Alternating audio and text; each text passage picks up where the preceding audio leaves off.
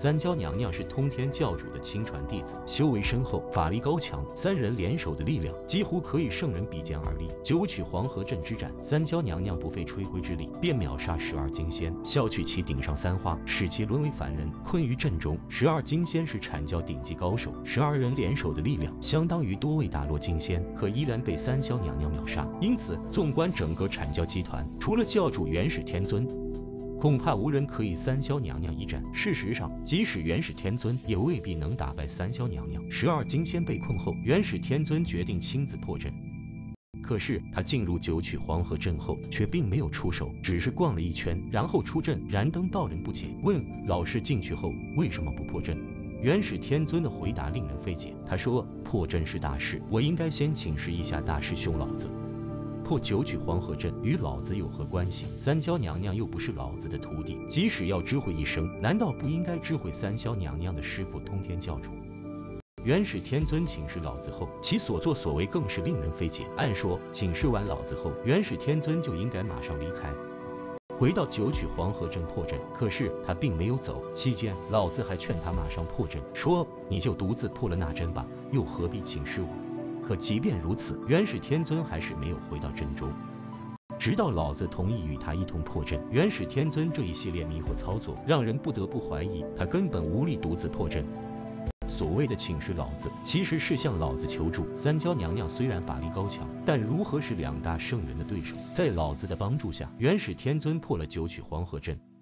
救出十二金仙，封神之战又回到正轨，而三霄娘娘则在两大圣人的强势出击下因劫而死。封神之战结束后，姜子牙主持封神，三霄娘娘皆被封为仙姑。说到这里，有人想必很好奇，九曲黄河阵之战，十二金仙被打败后，如果三霄娘娘乘机杀了他们，封神之战会受到怎样的影响？三霄娘娘最终的结局又会如何？有人认为，封神之战并不会受到影响，因为元始天尊会救活十二金仙。但三霄娘娘的结局肯定很凄惨，不仅会战死，还会失去英杰的资格。其实，如果三霄娘娘杀了十二金仙，十二金仙未必会被元始天尊救活，而三霄娘娘也未必会失去英杰的资格。封神之战的目的是什么？正是为昊天上帝招募人才。既然如此，昊天上帝肯定希望更多法力高强的修仙者英杰，因为英杰的修仙者越强大，天庭集团招募到的人才也就越优质。而十二金仙无不法力高强，所以如果他们被三三霄娘娘杀死，昊天上帝肯定希望他们沦为阴界封神之人，而不希望元始天尊将其复活。在封神世界中，昊天上帝虽然身居简出，但已然成为三界之主，连红军老祖也要敬畏三分。一旦昊天上帝发话，元始天尊敢冒着违抗三界之主君旨的风险？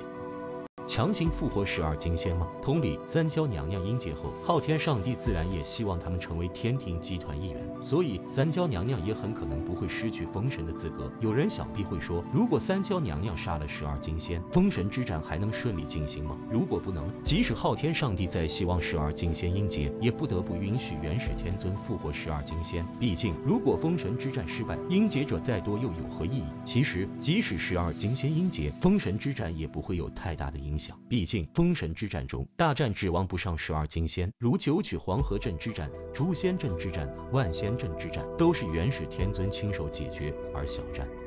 截教三代弟子可以摆平，当然，如果没有十二金仙，封神之战的胜利时间会推迟。毕竟他们法力高强，作战效率比三代弟子高很多，所以十二金仙在封神之战的重要性也是很大的。这想必正是九曲黄河阵之战元始天尊力保十二金仙的原因之一。